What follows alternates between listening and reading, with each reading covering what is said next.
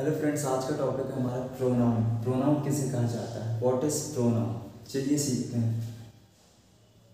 A pronoun is a word that is used in place of noun for example he she it I me etcetera और भी pronoun होते हैं जो कि अलग अलग सेंटेंसेस में यूज़ किए जाते हैं अकॉर्डिंग टू सिचुएशन आइए प्रोनाउन को बेहतर समझने के लिए हम सेंटेंस को देखते हैं।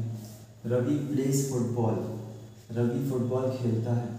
रवि रन्स वेरी फास्ट और आगे Ravi is good at football Ravi football खेलता है। Ravi runs very fast Ravi बहुत तेज़ दौड़ता है। Ravi is good at football Ravi खेल जो फुटबॉल खेल है, उसमें अच्छा है। बहुत सारे लोग अलग अलग फ़ील्ड में अच्छे होते हैं। कुछ खेल में अच्छे होते हैं, कुछ पढ़ाई में अच्छे हैं। तो फुटबॉल खेल में, उस फ़ील्ड में रवि अच्छा है ठीक है? आप लोग एक चीज़ नोटिस कर रहे होंगे कि यहाँ पर रवि जो है नाम इसका वो बार बार आ रहा है। रवि रवि रवि जो कि इंग्लिश लैंग्वेज में इस सेंटेंस को गलत माना जाएगा। बार बार ना, नाम आने पर हम इसीलिए प्रोनाउन का यूज़ किया जाता है।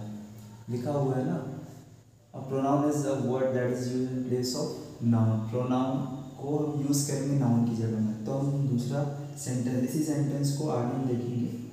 Ravi plays football Ravi football खेलता है। अब क्योंकि रवि का नाम दोबारा आया है तो हम रिप्लेस कर देंगे।